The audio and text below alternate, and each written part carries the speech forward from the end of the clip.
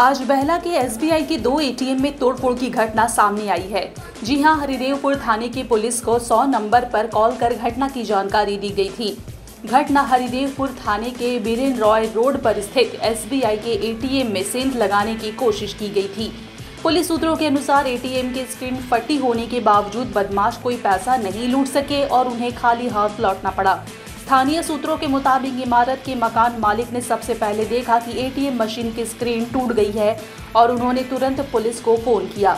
हरिदेवपुर थाने की पुलिस मौके पर पहुँची। मामले की जानकारी बैंक को दी गई है। सूचना मिलने पर बैंक के अधिकारी मौके पर पहुँचे। हालाँकि बैंक में लूटपाट की घटना को अंजाम देने से चोर बच गए। फ़िलहाल पुलिस सीसीटीवी फुटेज खंगाल कर मामले की जाँच में जुटी हुई है।